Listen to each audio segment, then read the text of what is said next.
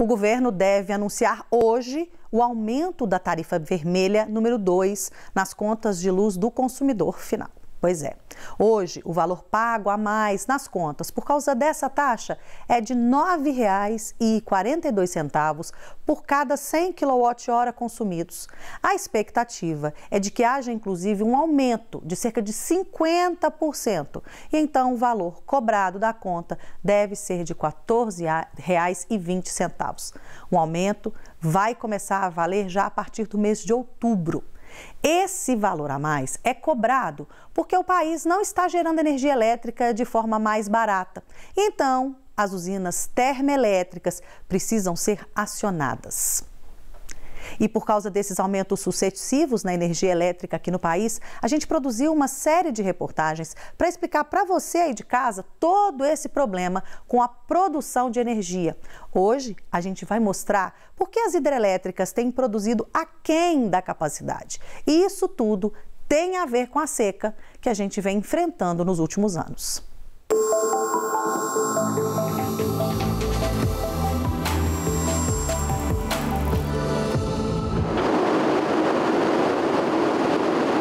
Tem gente que se refere à energia elétrica como força. Quem nunca ouviu a expressão caiu a força?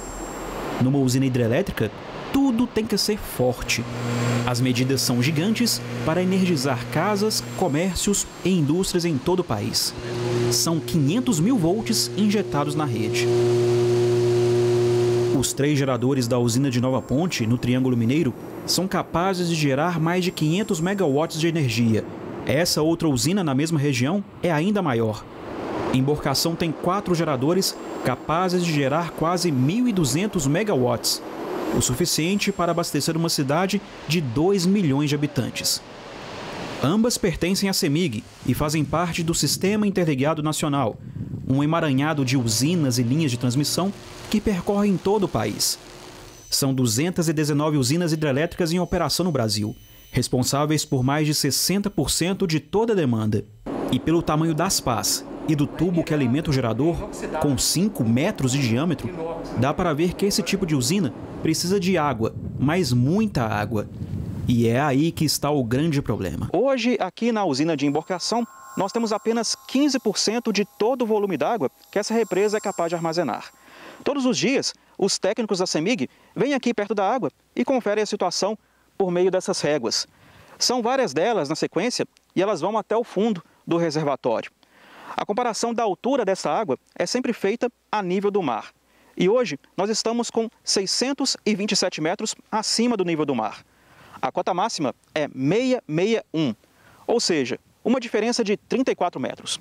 Pode até parecer pouco, mas as imagens provam o contrário. O paredão de rocha, com 158 metros de altura, deveria estar apenas com a crista para fora da água. Essa estrutura, parecendo portais, é o vertedouro, usado para escoar a água excedente. Dificilmente vai ser aberto tão cedo. Onde antes era para estar dezenas de metros debaixo d'água, é possível caminhar boas distâncias. Em Nova Ponte, o cenário é tão desolador quanto em Araguari, a barragem, com mais de 1.600 metros de comprimento, agora escora mais vento do que água. O momento é de estiagem e os rios que abastecem as represas naturalmente baixam com a falta de chuvas. Mas a situação definitivamente está fora do normal. Nós estamos atravessando um período consecutivo de baixas chuvas. Né? São mais de 10 anos de baixa pluviosidade, né? com chuvas abaixo da média. Essas é, poucas chuvas, elas provocam, evidentemente, poucas vazões afluentes, que são as águas que chegam aos reservatórios. Né? Então, isso tem feito de 2010, 2011 para cá, que o reservatório não conseguisse, que os reservatórios não conseguissem recuperar plenamente sua capacidade de armazenamento. Lembrando que nós estamos falando de reservatórios de acumulação, que cujo papel é estocar a água no período úmido e utilizar essa água no período seco. Com menos água, a pressão para girar os motores é menor e, por consequência, menos energia é colocada na rede. No momento da nossa visita, Nova Ponte estava com apenas um gerador energizando a linha. Emborcação estava com uma turbina parada para manutenção programada e as outras três gerando abaixo da capacidade máxima. A situação se repete em todas as usinas das regiões Sudeste e Sul do país. Para compensar a demanda, que não diminui, é preciso colocar em funcionamento outra forma de energia, as termoelétricas. Em Minas, duas estão operando, utilizando gás natural para fazer vapor e empurrar os geradores. Dá para imaginar que isso não fica barato. As usinas térmicas utilizam, algumas delas, gás natural, é, óleo combustível, óleo diesel. Então, o custo deste insumo ele é muito superior ao custo da água, vamos dizer assim. E por essa razão, é, esse sinal ele é dado ao consumidor pela bandeira. Se a situação está ruim agora, infelizmente o futuro não é nada promissor. De acordo com projeções do Operador Nacional do Sistema, até o fim da estação seca deste ano, o nível dos reservatórios pode chegar a 5% da capacidade. O gráfico mostra que ao longo dos últimos anos, as chuvas não foram suficientes para a reposição hídrica. Além de ter um déficit hídrico, a gente ainda teve o, o, o adiantamento da estação seca. Então, a estação seca que climatologicamente ela começa aí em meados de abril, que, que começa a parar de chover. Esse ano parou de chover lá em meados de março, então a gente está aí com uma extensão dessa estação seca. Quem é de Belo Horizonte, região metropolitana, pode até estranhar. Em 2019, os temporais causaram verdadeira destruição. Mas toda essa água não caiu da forma correta. Principalmente para reservatórios de água, tem que ser aquela chuva do, do, sistema meteorológico que a gente chama de zacas, né? Que ele ocorre muito no verão aqui, que é aqueles é, uma semana, dez dias aí de chuva todo dia, uma chuvinha calma que vai infiltrando na terra e vai reabastecendo os lençóis freáticos e com isso é, é, torna os reservatórios mais perenes. Com esse cenário desolador, tem gente que lembra de 2001, quando o país inteiro teve que se esforçar para evitar o apagão.